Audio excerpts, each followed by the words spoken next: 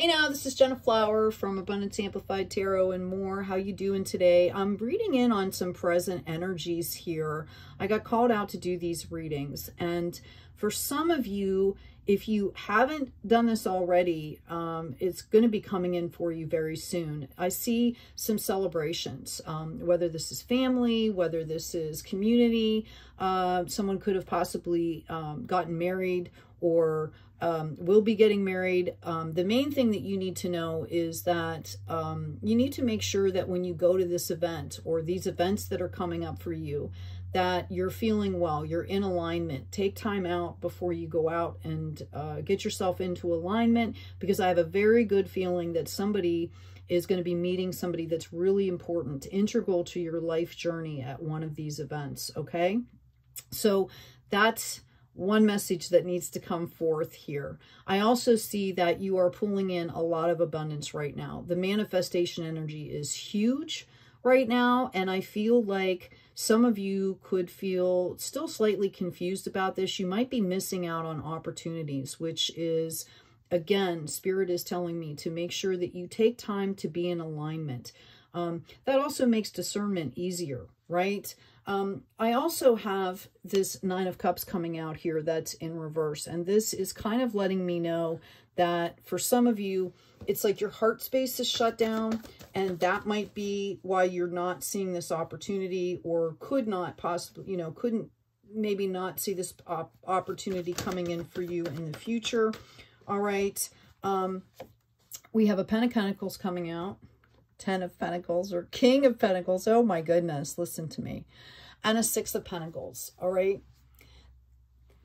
King of Pentacles brings in this kind of logic into this spiritual growth, okay? This is showing a maturity. Notice the roses around him that are starting to bloom. Some of you, I feel like you're really coming into quote unquote your time here. And Spirit wants you to know that it's really about keeping balance. For some of you, I think there's been some painful experiences and um, you really have leveled up a lot here. Yeah, we also have this King of Cups coming into play. Okay, so this is really showing me that there you've worked really hard to mature um, on so many levels here um, there is, again, this possibility of being kind of blindsided by an opportunity. So just take, I'm hearing, just, you know, take good care of yourself. Go have fun. Take care of yourself.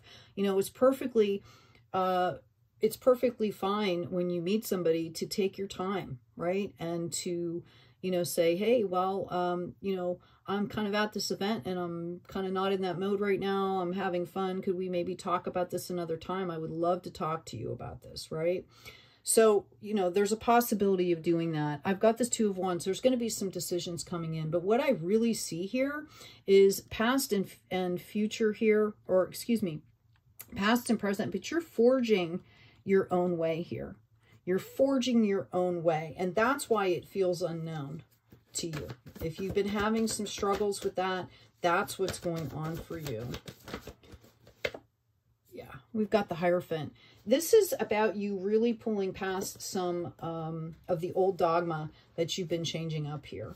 Okay, understanding to how to be in the flow, understanding how things move, how they work, um, this situation is justice for you. If some of you are in a court case or have been in some kind of battle here, Spirit wants you to know that you are being led. You are being protected, which is why you need to stay aligned.